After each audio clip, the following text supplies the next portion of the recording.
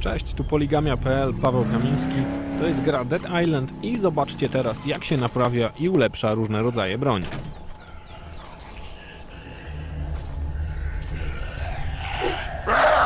Naszą bronią może być wszystko, nawet zwykły kij. Wybieramy ją sobie z podręcznego menu.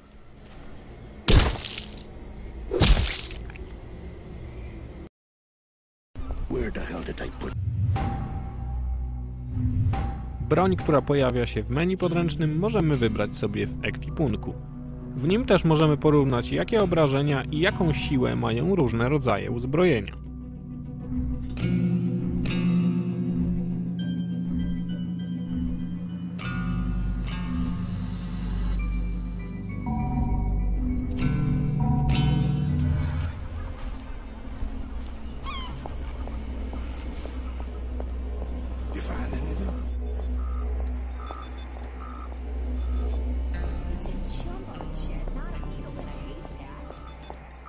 Naprawy i ulepszeń dokonujemy przy stołach montażowych rozsianych po świecie gry.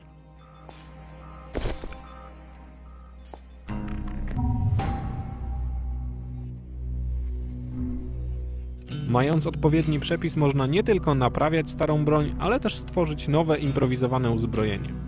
Mi niestety brakuje odpowiednich części.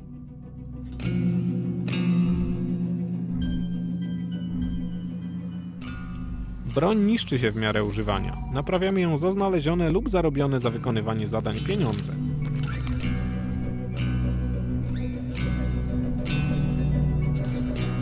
Ulepszenia broni także kupowane są za pieniądze.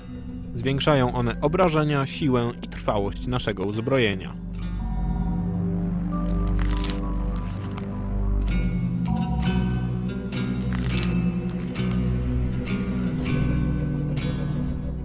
Nie mam już więcej pieniędzy na ulepszenia. Pójdę więc przetestować, jak taki ulepszony klucz nastawny sprawdza się w akcji.